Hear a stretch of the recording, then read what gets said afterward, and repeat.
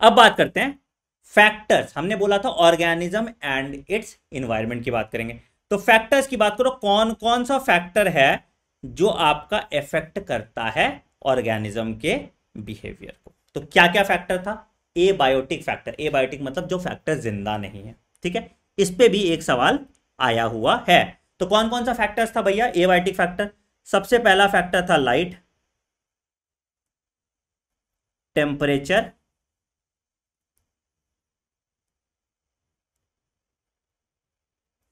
Soil और बाकी तुम्हारा अदर फैक्टर्स आ सकता है। ठीक है? सबसे ज़्यादा इकोलॉजिकली रेलिवेंट फैक्टर कौन कौन सा है? सबसे ज़्यादा इकोलॉजिकली रेलिवेंट फैक्टर कौन कौन सा है? तो temperature is the most influential environmental factor बहुत सवाल आता है इस पे। Temperature is the most influential सबसे सबसे ज़्यादा इकोलॉजिकली रेलिवेंट फैक्टर जो है, वो टेम्परेचर होता है। बहुत इंपॉर्टेंट सवाल आता है आप पे, ठीक है? याद रखिएगा टेम्परेचर अच्छा वाटर नहीं डाला सॉरी चौथा वाटर ठीक है temperature is the most ecological relevant factor ठीक है? ठीक है ठीक है। टेम्परेचर सबसे ज़्यादा इकोलॉजिकली रेलेवेंट फैक्टर होता है, ठीक? टेम्परेचर वेरी कर सकता है सीजनल वेरिएशन हो सकता है अलग अलग तरह के वेरिएशन हो सकते हैं, ठीक? तो कैसा कैसा टेम्परेचर हो सकता है? तो temperature varies seasonally on land increases towards equator and decreases towards the poles तो इसके लिए तुमको समझने में थोड़ा सा मदद चलेगा एक ज्योग्राफी की क्लास का, ठीक है? थोड़ा सा बेसिक ज्योग्राफी की क्लास कीजिए, फिर आपको समझ में आ जाएगा कि मैं किस चीज़ की बात कर रहा तो मान लो कि ये आपका पृथ्वी है। ठीक है? बिल्कुल। ठीक अब इसमें अब इसमें अलग अलग रीजन आता है। सबसे बीच वाला जो रीजन है, इसको हम कहते हैं इक्वेटर बीच में। दैट इज़ ज़ीरो डिग्री पे। क्या कहते हैं इसको हम? इसको हम कहते हैं इक्वेटर सॉरी इसको हम कहते हैं इक्वेटर। ठीक है? ठीक। अब ऊपर जाओगे तो ऊपर की तरफ़, नॉर्थ की तरफ़ जाओगे, नॉर्थ की तरफ़ जाओगे तो क्या दिखेगा आपको? This is called sorry north की तरफ़ जाओगे तो क्या दिखेगा आपको? This is called tropic of cancer क्या कहते हैं इसको? ट्रॉपिक ऑफ़ अरे।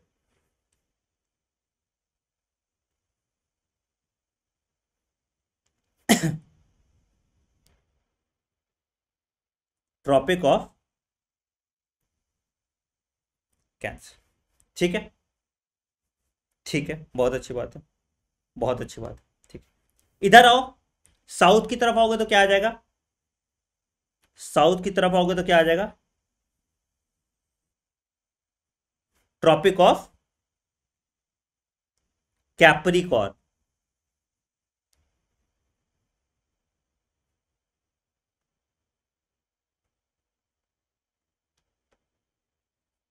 ठीक है। अच्छा ऊपर चले जाओ, और ऊपर चले जाओ तो दो सर्किल दिखता है आपको। आर्टिक सर्किल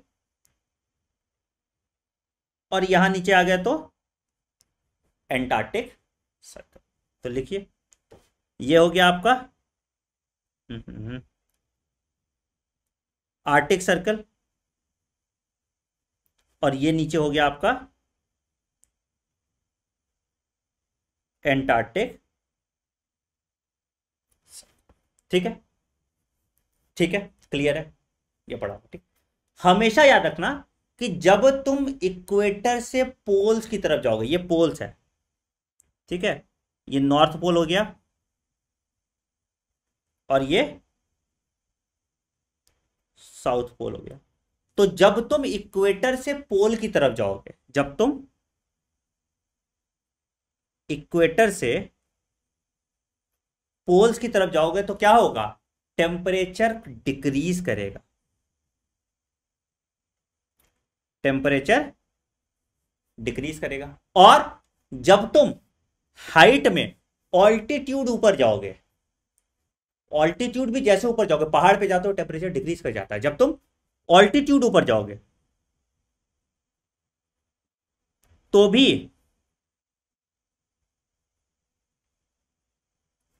टेम्परेचर डिक्रीज कर ठीक है?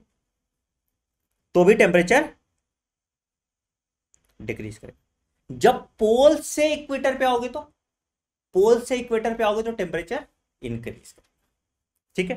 अच्छा। अब कुछ बात देख लेते हैं, कुछ बात देख लेते हैं। ये वाला ये वाला, ये जो रीजन है, इसको हम कहते हैं, इसको हम कहते हैं ट्रॉपिकल रीजन क्या कहते हैं? इसको हम कहते हैं, यह क्या कहते हैं? Tropical region.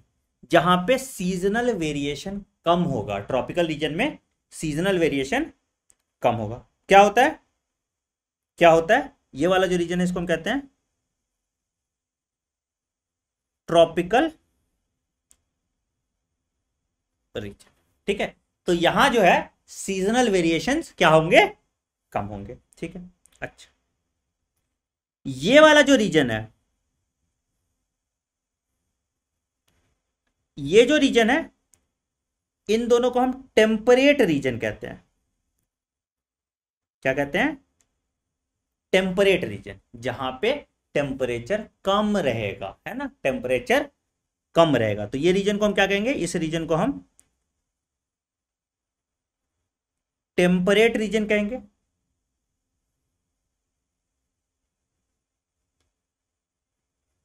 ठीक और ये वाला जो रीजन है, देखो आयरॉनिक है, हम उसको हरा कलर से तुंद्रा रीजन को हरा से मार्क कर रहे हैं बट ठीक है।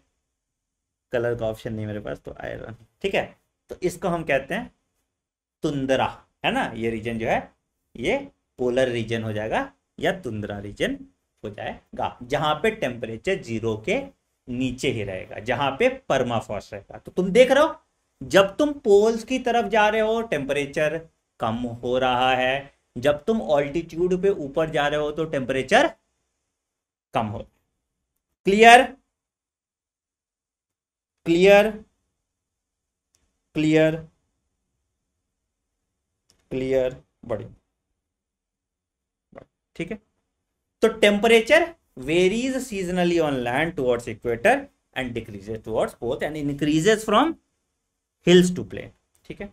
सब ज़ीरो टेम्परेचर भी हो सकता है और टेम्परेचर 50 डिग्री सेल्सियस भी हो सकता है और हाइड्रोथर्मल वेंट में 100 डिग्री सेल्सियस से ज़्यादा भी हो सकता है। है ना? ठीक है? टेम्परेचर फिजियोलॉजिकल फ़ंक्शन को इफ़ेक्ट करता है बॉडी के मेटाबॉलिज्म को इफ़ेक्ट करता है। गर्मी ज़्यादा है, तुम्हारा मेटाबॉलिक रेट बढ़ जाएगा। गर्मी कम है, तुम्हारा मेटाबॉलिक रेट कम हो जाएगा। है ना? ये होता है टेम्परेचर तुमको फीवर हो जाता है, तुमको फीवर होता है तो क्या होता है? तुम्हारा पेट भी खराब हो जाता है। क्यों? तुम्हारे इंजाइम डी नेचर हो जाते हैं। तो temperature effects your metabolic rate and physiology ठीक है? स्नो लेपर्ड देखो भैया, हिमालय में पाया जाता है एनसीआरटी लाइन है। केरला में थोड़ी स्नो लेपर्ड तुमको मिलेगा। क्यों? उसको ठंडी जगह पे रहना है। ठीक है? तो इस तरह से। तो on the basis of temperature हम लोग दो तरह के होते हैं। हम लोग मतलब ऑर्गेनिजम्स दो तरह के होते हैं। एक को हम कहते हैं यूरी थर्मल। यूरी थर्मल मतलब क्या हुआ बेटा? यूरी थर्मल मतलब any organism that can tolerate a wide range of temperature अगर a wide range of temperature कर सकता है बर्दाश्त तो उसको हम कहते हैं यूरी थर्मल तो यूरी थर्मल क्या हुआ? Can tolerate a wide range of temperature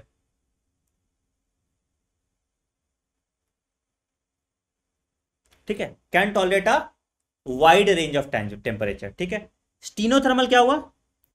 They can tolerate only a narrow range of temperature तो जितने रेगुलेटर्स होते हैं, या जितने वार्म ब्लडेड ऑर्गेनिजम्स होते हैं, ज़्यादातर यूरी थर्मल होते हैं। जैसे ह्यूमन बींग्स यूरी थर्मल है। ठीक है? स्टीनोथर्मल मतलब क्या हुआ? जो ऑर्गेनिज्म एक नैरो रेंज ऑफ़ टेम्परेचर ही बर्दाश्त कर पाएँगे, उसके बियॉन्ड नहीं जा पाते। जैसे फ्रॉग यूरी स्टीनोथर्मल है ना? तो इस तरह से, इससे इससे, इसी तरह से यूरी थर्मल और स्टीनोथर्मल होता है। Clear clear clear clear clear clear clear है आगे बढ़ते आगे बढ़ते हैं। ठीक। अब दो तीन पॉइंट्स लिखो, ठीक है? Effect of temperature on animals दो रूल पढ़ेंगे हम एलेंस रूल और Bergmann's rule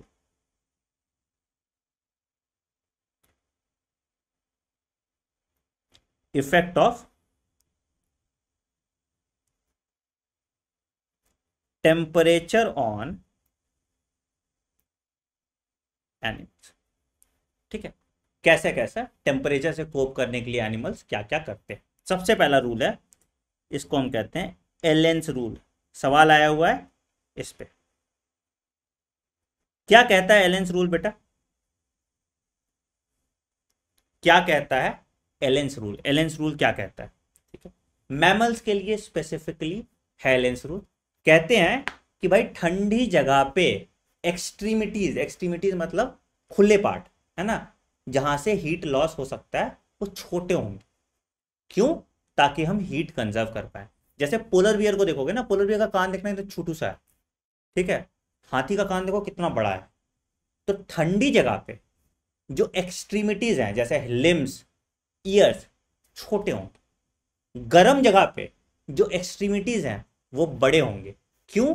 To avoid heat loss to avoid heat loss right तो mammals from colder climate have shorter ears, या short ears and limbs to minimize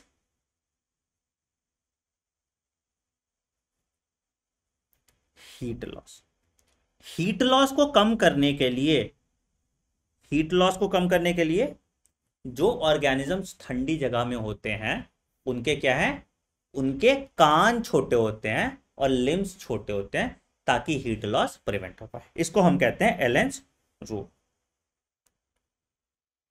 दूसरा, दूसरे को हम कहते हैं बर्गेमिन रूल ये बर्ड के लिए। बी से बर्ड बी से बर्गेमिन याद रखो, ठीक है? दूसरे को हम कहते हैं बर्गेमेंस बर्गेमिन्स रूल क्या बोलता है बेटा? बर्गेमिन्स रूल ये कहता है कि बर्ड्स तो अगर तुम ठंडी जगह जाओ तो बर्ड का साइज़ बड़ा है। पेंगुइन्स देखते हैं आपको, है ना? अगर तुम गर्म जगह पे जाओ, बर्ड का साइज़ छोटा हो गया। एक्सेप्शन भी है इसका। ऑस्ट्रिच इसका एक्सेप्शन है। ठीक है? तो यहाँ पे बोला बर्ड्स एंड मैमल इसका एक्सेप्शन भी है, ठीक है? Birds mammals attain greater body size in cold region ठीक है and lesser in warm region again ये परफेक्टली ट्रू नहीं है, इसके एक्सेप्शन हैं, ठीक है? In cold region and lesser in warm region example इसका देख लो. Penguins and hummingbird but इसके मैं पचास एक्सेप्शन गिना सकता हूँ, है ना?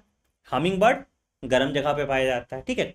रीजन ये है रीजन इसके पीछे ये है कि बॉडी का साइज़ बड़ा रहेगा तो हीट प्रोड्यूस ज़्यादा होगा मेटाबॉलिक रेट ज़्यादा होगा तो ठंडी जगह में सर्वाइवल के चांसेस बढ़ जाते हैं। बट अगर बॉडी का साइज़ कम होगा तो हीट प्रोड्यूस कम होगा तो ठंडी जगह में सर्वाइवल के चांसेस घट जाते हैं। तो इसलिए, समझ में आया?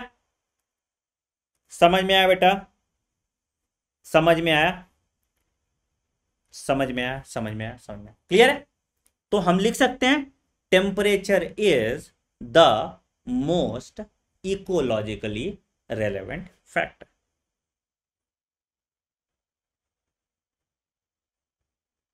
temperature is the most ecologically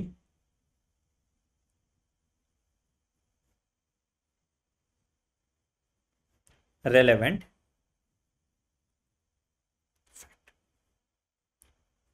बहुत बहुत बड़े बहुत बड़े दूसरा कौन सा इकोलॉजिकली रिलेवेंट फैक्टर था भैया? पानी, है ना? फिर लाइट की बात ठीक है? तो पानी की बात करोगे तो पानी कैसा हो सकता है? पानी में हम सॉल्ट इनटेक के हिसाब से पानी की क्वालिटी को बात कर सकते हैं। फ्रेश वाटर हो सकता है सलाइन हो सकता है। तो productivity and distribution of plants is highly dependent on water बिल्कुल सही। Desert plants and animals have a special adaptation for less amount of water adaptation की भी हम बात बाद में करेंगे, है ना? कहाँ कहाँ एडेप्टेशन कैसे कैसे है, उसकी बात अभी हम थोड़ी देर बात करेंगे, ठीक है? सवाल अब यहाँ पे आता है, ये पीवाई क्यू है, ठीक है? ये पीवाई क्यू है। सवाल आया हुआ था क्या? ध्यान रखना इनलैंड वाटर की सेलिनिटी पाँच परसेंट से कम होती है, ठीक है? समंदर तीस से पैंतीस हाइपर सलाइन लगून की ग्रेटर देन हंड्रेड होता है। ये इंपॉर्टेंट है दिस इज़ वेरी इंपॉर्टेंट तो अगर पूछे सेलिनिटी सबसे ज़्यादा किसकी होगी? सेलिनिटी सबसे ज़्यादा किसकी होगी?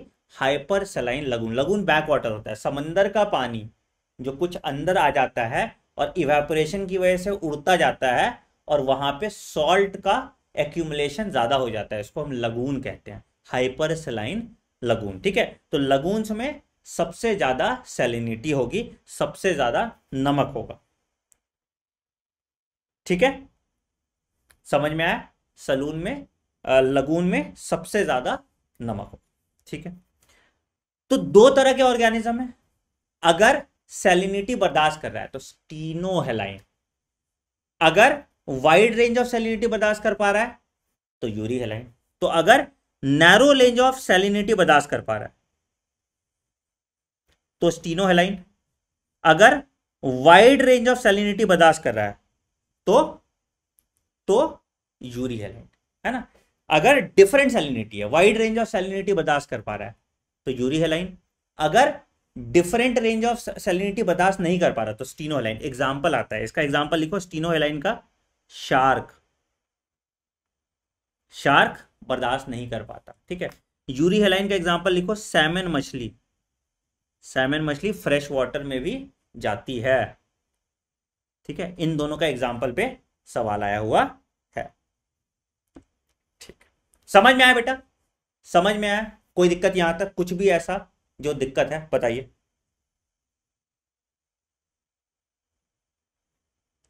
कुछ भी ऐसा?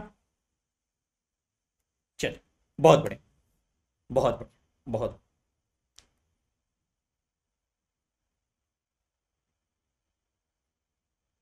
चल चल आगे बढ़ आगे बढ़ आगे बढ़ ज्ञान देना खत्म नहीं होता तुम लोग का ना, कि क्या इसमें कीजिए, जो करा रहे करिए चुपचाप से, ठीक है? दिमाग अपना मत लगाइए, अपना दिमाग घर पे छोड़ के आए, ठीक है? जितना हम करा रहे हैं, बस उतना कीजिए, ठीक है? दिस इज़ तुमने तो कभी एनसीआरटी खोल के देखी नहीं है कि तुमको पता होगा एनसीआरटी में क्या है, क्या नहीं है? खोल के देखे होते तो बेवकूफ़ वाली बात नहीं कर रहे होते। इस किताब को लिखने में डेढ़ साल लगे हैं मुझे, ठीक है? This is the funda box this is the iconic book I was working on for several तो ये बिट्स तुम लोग को मिल रहा है, ठीक है? इसमें एक एक लाइन एनसीईआरटी का ही है, निचोड़ा हुआ, बिल्कुल निचोड़ दिया गया एनसीईआरटी और उसको डाल दिया गया पीवाईक्यू टैगिंग के साथ, ठीक है? तो this is the best thing that I have to offer to you ठीक है? अब तुम बेवकूफ़ हो तो तुम्हारी मैं कुछ कर नहीं सकता उसके लिए। चल बड़ी बड़ी इसकी पीडीएफ आपको टेलीग्राम चैनल में मिल जाएगी T dot M E slash Anand money zero zero one चल आइए। ब्लर हो रहा है तो बेटा अपना वो बढ़ाओ, ठीक है? रेशियो ठीक है? ब्लर यहाँ मैं भी देख रहा हूँ ना ब्लर नहीं होता। तो रेशियो वो बढ़ा दो। वीडियो सॉरी क्वालिटी है ना? दिख जाएगा चल। चल, आओ, आगे बढ़ते हैं। लाइट की बात करते हैं, दूसरा।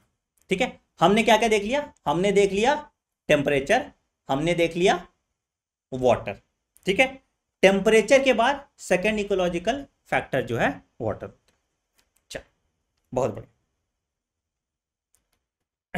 आइए।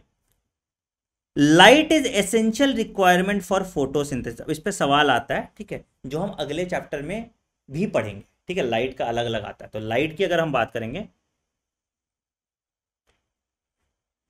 तो लाइट जो है, इसका जो 50 परसेंट ऑफ़ इंसिडेंट लाइट ये अगले चैप्टर में भी पढ़ेंगे 50 परसेंट ऑफ़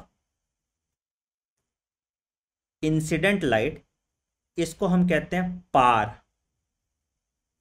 क्या कहते हैं इसको? इसको हम कहते हैं फोटोसिंथेटिकली एक्टिव रेडिएशन क्या कहते हैं इसको? फ़ोटो सिंथेटिकली एक्टिव रेडिएशन तो 50 परसेंट जो होता है 50 परसेंट जो है वो पार इस पार का दो से दस परसेंट प्लांट एब्जॉर्ब करता है फॉर फोटोसिंथेसिस ठीक है? तो लाइट हमेशा ऑप्टिमम क्वांटिटी में रहता है एक्सेप्ट फॉर फ्यू ऑर्गेनिज्म जो समुंदर के बहुत नीचे रहते हैं डीप हाइड्रोथर्मल वेंट ज़्यादातर ऑर्गेनिज्म में लाइट एक बहुत इंपॉर्टेंट रेगुलेटरी फैक्टर होता है, ठीक है? तो 50 परसेंट क्या है? 50 परसेंट है पार। इस पार का, इस पार का two to ten percent of PAR two to ten percent of PAR जो है is use by plants for photosynthesis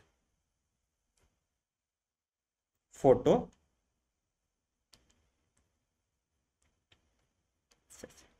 is use by plant for photosynthesis चलिए, बहुत बढ़िया बहुत बढ़िया बहुत बढ़िया, ठीक है? तो कुछ ऑर्गेनिज्म कुछ ऑर्गेनिज्म को छोड़ के लाइट सबको इजीली मिल जाता है। कौन सा ऑर्गेनिज्म जो हाइड्रोथर्मल इवेंट्स में नीचे रह रहे होंगे, या जो ज़मीन के बहुत नीचे रह रहे होंगे, या जो पानी के बहुत नीचे रह रहे होंगे, या जो छाव में रह रहे होंगे, है ना? शेडी प्लांट्स है ना? तो जो शेडी प्लांट्स होते हैं, उनको हम स्कीओफाइट्स कहते हैं। जो सन प्लांट्स होते हैं, उसको हम हेलियोफाइट्स कहते हैं। ठीक है? अच्छा। और क्या? Photoperiodism is also an essential feature related to light हमने पढ़ा है photoperiodism plant growth and development में, है ना? कि तुम्हारे लाइट के हिसाब से उसका फ्लावरिंग पीरियड डिसाइड होता है। ठीक है? Some animals and birds also depend on daylight for their migratory and foraging activity ठीक है? ये भी आ गया तुम्हारा। तो ये आ गया तीसरा ecologically relevant factor that is light लिख लो शेडी प्लांट, इसको हम कहते हैं स्कीओफाइट्स ठीक है? और सन प्लांट जो होता है, इसको हम लोग हीलियो फाइट्स ठीक है? तो जो शेडी प्लांट है, उसको हम स्कीओफाइट्स कहते हैं और जो सन प्लांट्स है, उसको हम हीलियोफाइट्स कहते हैं। ठीक? ठीक। ठीक। बिल्कुल बिल्कुल बिल्कुल ठीक अगला जो फैक्टर है दैट इज़ कॉल्ड सॉइल तो सॉइल कंपोजिशन याद रखना। Grain size and aggregation determine the water holding capacity of soil तो हमेशा याद रखना, हमेशा याद रखना, जितना पतला ग्रेन साइज़ होगा, ठीक है, उतना वाटर होल्डिंग कैपेसिटी ज़्यादा होगा, ठीक जितना पतला ग्रेन साइज़ होगा उतना वाटर होल्डिंग कैपेसिटी ज़्यादा होता है। याद रखिएगा वाटर होल्डिंग कैपेसिटी सबसे ज़्यादा। क्ले सॉइल का होगा, उसके बाद लोमी सॉइल का होगा और सबसे कम जो है सैंड सॉइल का। ठीक है? याद रखना वाटर होल्डिंग कैपेसिटी इस पे सवाल आता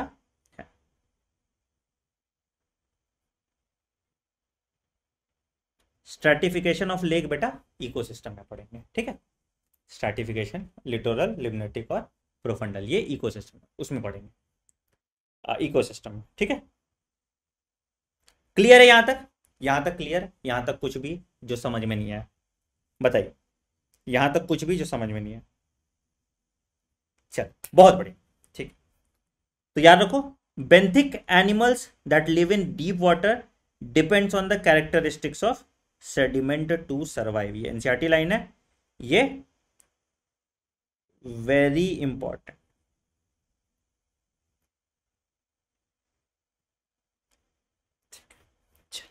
बहुत अमेजिंग बहुत बढ़िया।